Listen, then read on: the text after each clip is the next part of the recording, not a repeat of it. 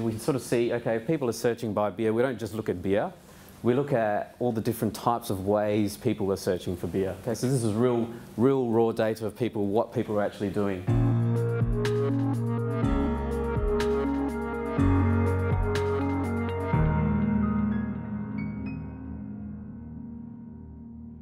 All right, so we know who, who our customers are, we know what they're doing, we know their behaviour in terms of purchasing and transaction. They're not just coming to the store and then off you go.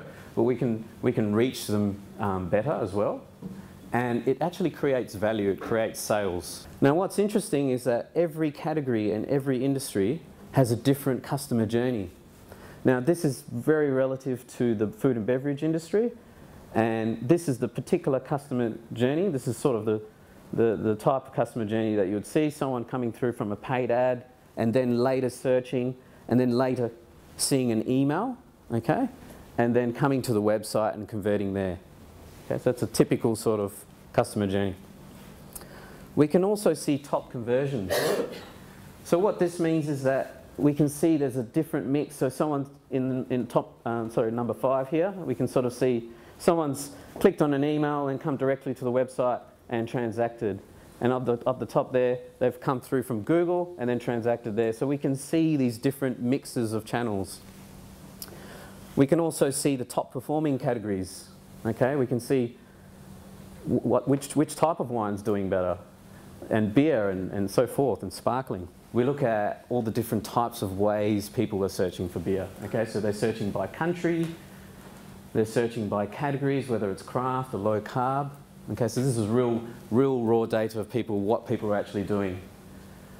They're also um, searching by the style of beer, whether it's ale, wheat, ginger beer, lager. So it's all sorts of things there, all sorts of variations. When it comes to buying wine online, consumers are, are quite focused on educating themselves and finding out more information. That's, that's really the market we're dealing with now. And we can even see that with the search terms here. So this, these are, these, this is what people are actually typing in. Things are topics around wine, so it's not just about the wine product itself, it's about what you can do with it, the benefits of it. Now the good thing is that when we write this information and content, we can actually track it and measure it. So we know that it's dri driving X amount of traffic.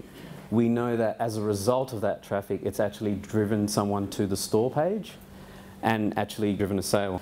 So the buying journey is now research driven, okay? So this is what people are doing. So for instance, they'll search reasons to visit uh, Wildlife Park, for example. They'll pick, pick an article, click on that, they'll actually read the article and maybe when they get up in the morning try and work out what they're going to do with the kids read the article and and then you can that's when you can do things like you know show them loyalty cards and promotions and stuff like that and get them interested now if you do enough of this you can generate a lot of traffic